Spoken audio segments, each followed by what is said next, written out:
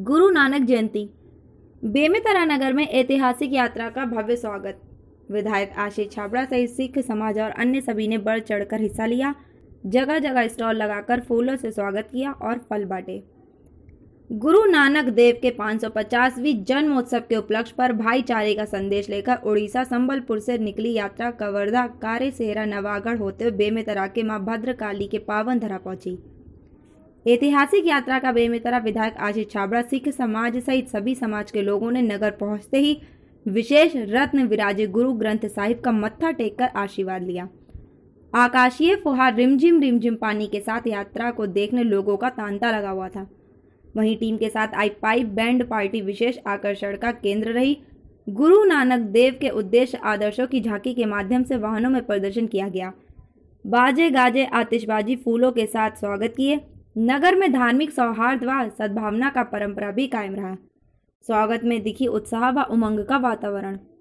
ऐतिहासिक यात्रा विश्व शांति बंधुत्व भा, भाईचारगी के साथ भातृत्व का संदेश को जन जन तक पहुँचाने के उद्देश्य को लेकर उड़ीसा तथा छत्तीसगढ़ के विभिन्न शहरों से गुजरती हुई वापस उड़ीसा में समापन होगी।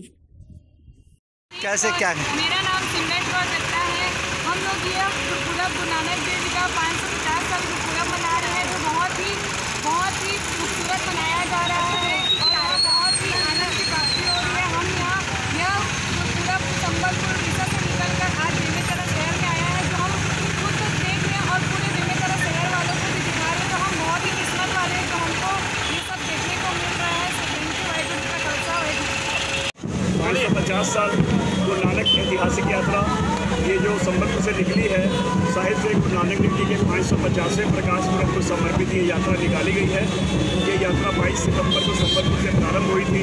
इस यात्रा का सिर्फ़ एक ही उद्देश्य है कि गुरु नानक देव जी के जो जीवन के उपदेश हैं, उनके जो चार उदासियों के जो जीवन में वृत्तांत है वो झांके हुए रूप में लोगों के जन जन जन तक उनका उपदेश को उनके उपदेश को पहुँचाना ताकि लोगों को ये पता लगे कि गुरु नानक देव जी ने आज से साढ़े पाँच सौ वर्ष पहले क्या उपदेश दिया आप इन झांकियों को देखेंगे तो आपको सारे उपदेश जो इंटरनेट के ज़रिए पर यहाँ हुए चल रहे हैं।